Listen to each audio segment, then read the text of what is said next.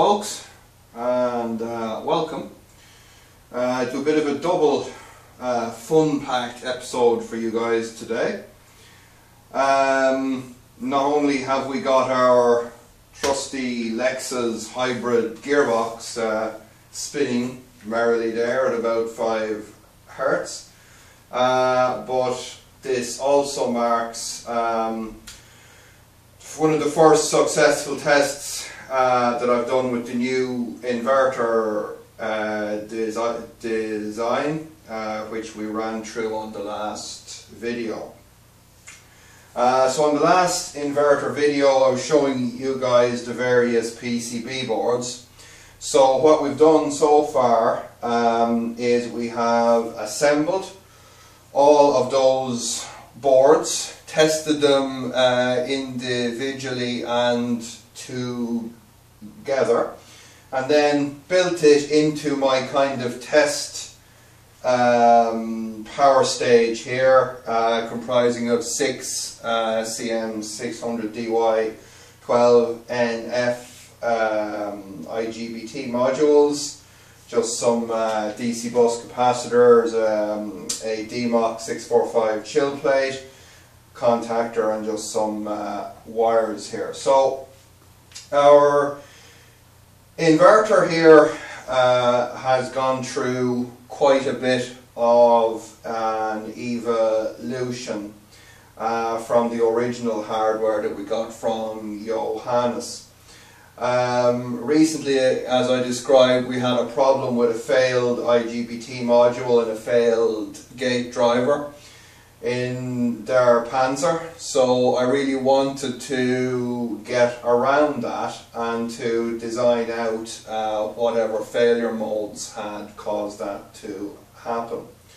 So right now, um, we have our our ACPL 337J based uh, gate drivers uh, with the accompanying uh, Murata gate drive uh, DC to DC converters, uh, DSAT detection on both sides of the IGBT. As we can see from these leads here, which are basically sensing the um, they would be sensing the top side collectors and the bottom side collectors are sensed from the DC positive rail in there. Uh, we've our completely redesigned sensor PCB um, which actually actually think turned out very well with our ACPL C870 based um, isolated voltage uh, DC bus voltage measuring system. Um, and we have our nice big Lemhas um, 800 amp Hall effect sensors uh, that are just so much easier to get the large uh, di diameter cables through. So moving over here, let me see if I get you guys in a little bit close. So moving over here now, again with our totally redesigned MEN PCB uh, with the accompanying AmpSeal 35 uh, connect connector and I've got all of my um, wiring harness done for that. And uh, it's just such a nice connector to use uh, and it just means that for example here I've made up a folder of all my um, design work but I've got this really nice pinout uh, done here. So that just makes wiring up that connector uh, just so much easier um, than previously had been and again I've got you know I've got my bill of materials for all of the boards um, I've got uh, PCB printouts I've got schematics for the whole thing. So it's uh, it's been a lot of work, but it's been very worthwhile. And I've even found now that uh, as I've actually been running the inverter today on various motors and so forth, that it just seems to be res- responding uh, to commands just 100% of the time now. Previously, there were some difficulties. Sometimes a, a signal wouldn't be kind of getting where it needed to be or something like that. So um, it was just very nice to see that the hard work seems to be paying off here. Uh, we have a lot more testing to do on it, um, but uh, yeah, it, it's just really nice. Now, additionally to that, um, I've also identified some things that I would like to improve upon, uh, particularly on the main PCB. Uh, there are a few spacing issues just in, that's just general layout, but one of the things uh, that I kind of missed the, uh, the opportunity on was to uh, change from just a little three or four pin serial connector because that means you have to kind of mess around with a little USB to serial port porting there. I'm just going to change that for a standard FTDI um, header. I think it's a six pin. And uh, we just use three pins on that, and it just uh, makes the serial interface to the control board just so much simpler.